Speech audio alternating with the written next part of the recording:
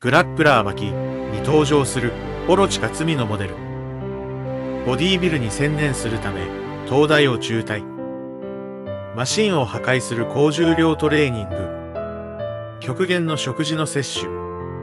彼は壮絶なトレーニングと極端な食事によって39歳という若さで帰らぬ人となった伝説のボディービルダーです。マッスル北村こと北村克美さんは1960年東京都練馬区生まれ、幼少期は手芸が得意でおとなしかった。彼は小学6年生の頃から体を鍛え始めた。中学では自転車や機械体操などに没頭した。中学2年生の時、夏休みが終わる2日前に自宅から山梨県の川口湖までの往復約 300km を自転車で移動するという無謀なサイクリングを計画飲まず食わずで16時間ペダルをこぎ続け川口湖へ到達した後広野奥多摩湖の付近で意識を失った。目が覚めた時彼は奥多摩病院の8号室にいた。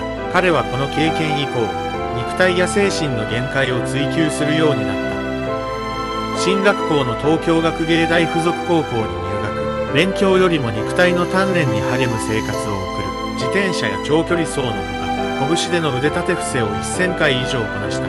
また当時認知されていない。パルクールのような鍛錬も行ったそのような生活を送りながらも頭脳明晰な彼は二浪の末二十歳で東京大学理科二類に合格し進学予備校時代にボクシングを始めたパンチが強烈だったゲーセンのパンチングマシンを複数台破壊した。彼はボクシングを生涯のスポーツだと考え始めていたが、事件が起こった。スパーリング相手を危うく失明させるという事態を招いた。このことにより彼はボクシングを断念します。東大に入学直後、近くの練馬区総合体育館で、ボディービルダーを初めて目撃した彼は衝撃を受けた。その人物から、大会に出てごらん、と勧められた。鍛錬を続けてきた自負から彼は参加を決意。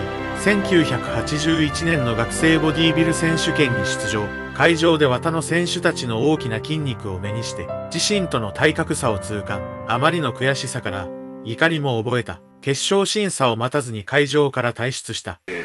食べてたんですここから北村はボディービルにのめり込んでいく。大学に全く通わず、それは空前絶後のボディービルダー漬けの日々を送る。ボディービルダーの体は、大会がない時は、とにかく目いっぱい食べて、激しいトレーニングを行い、筋肉量を徹底的に増やすことだと言います。彼は食事を変えた。睡眠時間を削ってまで食べ続けた。卵を1日に20から30個、牛乳2リットルから3リットル、さらにサバの缶詰を3缶、加えてプロテインの粉末 300g などを毎日最低限として摂取した。冷凍サザエをこうバンバンバンと、もう生で、生、まあこれ凍ってるんですけどね、えー、冷凍されたまま、それにね、これが味噌ね。また、顎の疲労により食事に苦労したことから、鶏のささみ肉をミキサーにかけ、ペースト状にした、ささみシェイクを考案し摂取した。えー、こんなもんだな。よいしょ。それで次、皇族隊。生きのいいささみだから。うん、最高。全然ね、これ鶏のささみだとわからない。夜中には、夕飯の残った味噌汁で作った大量のおじやを無理やり書き込んだ。消化吸収のために消化剤を手のひらいっぱいに盛り大量に摂取した。55キロだった体重は、2年後の22歳には、体重 90kg 近くまで増加した。前回は完敗した学生ボデービル選手権で優勝を遂げた。1985年のアジア選手権でライトヘビー級の称号も獲得。バラエティ番組などにも出演し、タレントとしても活躍。また、テレビの CM にも起用されるなど、北村は一躍スターになった。この頃、全く講義に出なかった東京大学を中退する。彼は将来が不安になり、一年発起、なんと東京医科歯科大学へ進学する。しかし後に休学し、1989年に中退。ボディービルに集中したい思いが勝った。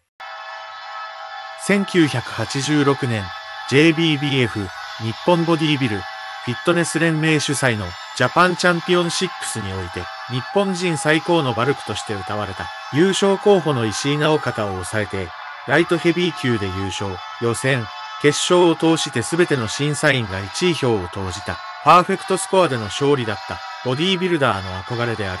ミスターユニバースのキックを手にする。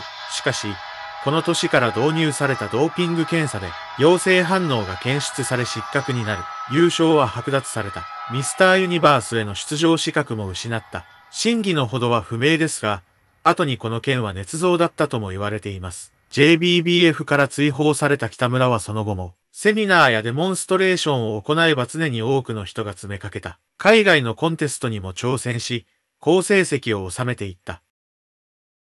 1999年、天気が訪れるアメリカ、カリフォルニアにて NPC トーナメントオブチャンピオンズのヘビー級で3位に入った。この時彼は無限の可能性を信じてやまぬボディービルの歴史を築いてきた偉大な魂の奇跡がアメリカにはあった。その息吹に触れた時、僕自身の心の底から鍛え続けることの喜びとともに無限のエネルギーが湧き出してくるのを感じた。このエネルギーを希望と呼ばずにはいられない、と記した。これを機に彼は、本場アメリカのコンテストで自分がどこまで通用するのか挑戦してみようと思った。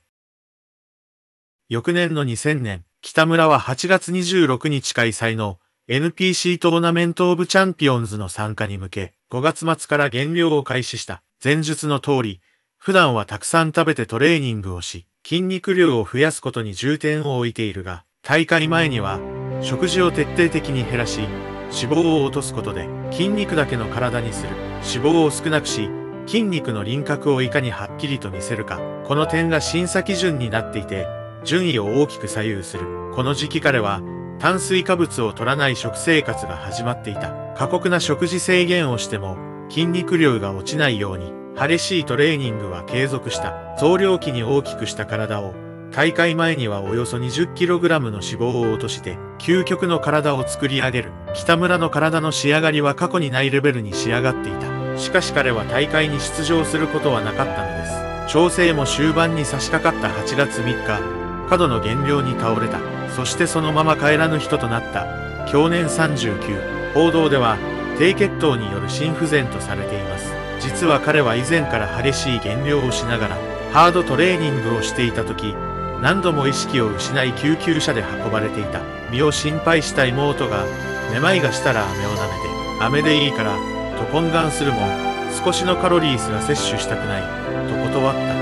亡くなる3日前に記録された映像には、鍛え上げられた彼の姿があった。この時の体脂肪率はなんと3%だったという。亡くなる4日前の最後のステージになった群馬で彼は、限界に挑戦して素晴らしい肉体を築きたい、と発言したが、本当に限界を超えてしまったのです。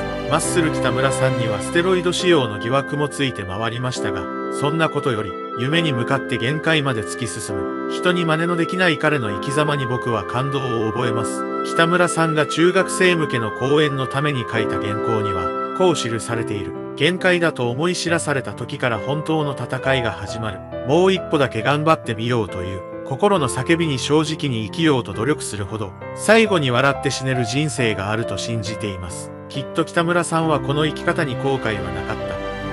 ボディービル界に突如として現れたカリスマ、マッスル北村、ストイックゆえに、己の体を顧みることなく限界を超越した。その作られた美しいボディは、今後も伝説として語り継がれていくでしょう。以上、思いつくまま、マッスル北村さんについて語りました。ご視聴ありがとうございました。